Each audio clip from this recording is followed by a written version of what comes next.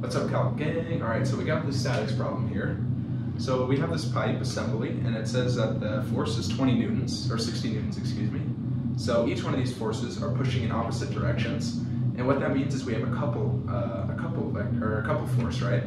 So uh, when we have a couple moments, basically, uh, there's a different way that we can solve these moment problems, right? So using this moment problem, uh, when you have a couple, what you can do is instead, the moment, make sure I'm not in the glare, yeah, moment around O is equal to the, the position vector from A to B, or from like one couple to another, crossed with that force vector. So RAB is going to be a hard thing to find, right? We know that force is 60 newtons, and it looks like it's pushing straight up or down. So we know that it's just going to be 60 in the z direction. So we need to find this uh, position vector, right? So let's go ahead and write our coordinates. So let's label A to be our first point, right? And what is this going to be? Well, it's going to be a position, right? So it looks like it goes 200 millimeters in the x direction and 300 millimeters in the y direction. So we can say that this is 0 0.2, 0 0.3, 0, because it doesn't go in the x or the z direction. So then B, let's see, what's B? Well, B looks like it goes um, 300 in the x direction, and then 200 plus 300 plus 300, so 0 0.3, 0 0.8 and doesn't go at all in the Z either. Right, so this makes sense. So if we want position vector from R to A and B, of course it's just going to be tip minus tail. So the tip is B, so it's going to be 0.3 minus 0.2, and this is going to be 0.8 minus 0.3, 0, minus 0, of course. So you're to get RAB is equal to 0 0.1, 0 0.5, 0 right? That makes sense. Okay, then we just have to plug in this formula and we can figure it out. So this couple moment, which is a vector, I guess.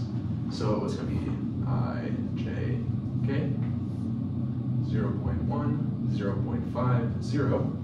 And then, so when we're doing this, right, we know that uh, there's two forces, right? And we're doing this moment force, or this moment, uh, or this couple moment, uh, it's going to be, the position vector is going to point towards a force, and then you're going to have to take the, uh, the vector of that force that it points at.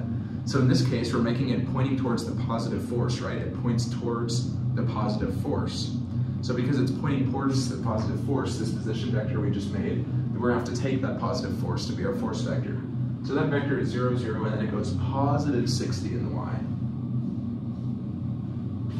So if we do this cross product, right? So we're going to take i, and it's going to be 0 0.5 times 60. 0 0.5, 60, minus 0 times 0, i. So then we have to subtract all of j. So then j, we're going to take j, it's going to be 0 0.1 times 60,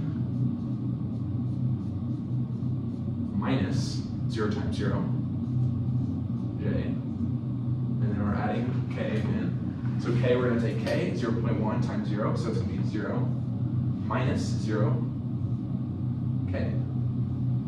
So then if you simplify this out a little bit, we're going to get our answer too. Uh, or I guess not yet. I think we're looking for magnitude. So then you're going to get, um, what are you going to get from this? 30i minus 6j. And this is in newton meters. All right, cool.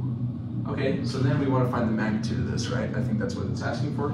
So magnitude of m is equal to the square root of 30 squared plus the square root of negative 6, or negative 6 squared. And then this is going to give you um, 30.6 newton meters. So that's the answer to part A. Nice. So then part B wants us to find our uh, coordinate direction angles, right? So we can go ahead and get rid of all of this. Uh, we just need these two things at the bottom to find our direction angles. Nice. So what do we know about our coordinate direction angles, right? Or let's see, what is it exactly asking for? Coordinate direction angles at the couple moment, right? So coordinate direction angles, alpha, beta, gamma. So alpha, so we know like cosine of alpha. Actually, this isn't the glare, isn't it? Yeah, you guys can't even see that, wow. Let's write down here, cosine of alpha. Alpha is gonna be our angle, right? In the x direction. So for finding cosine of alpha, it's going to be the x component of the vector over the magnitude of the vector. So the x component we found is 30, and then the magnitude is 30.6. So if we want to find alpha, we have to take the inverse cosine. So inverse cosine, because inverse cosine of cosine is just, or whatever, alpha, inverse cosine of 30 over 36, or 30.6 is alpha. And that's going to give you uh, 11.4 degrees.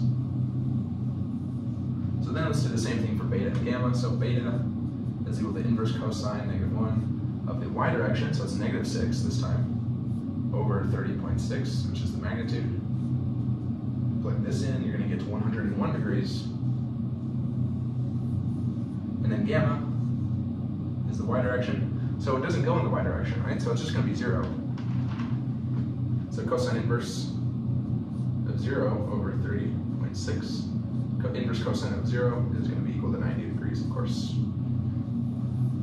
There you go. So that's alpha, beta, gamma, and there's the magnitude down there. So that's how you solve this problem. Just kind of make sure that you know that the position vector points at the vector that you're taking the, uh, the, the, force of, and then that's how you do the couple force. So there you go. Uh, good luck on your statics homework, and I'll see you in the next one, guys. So peace. Have a good one.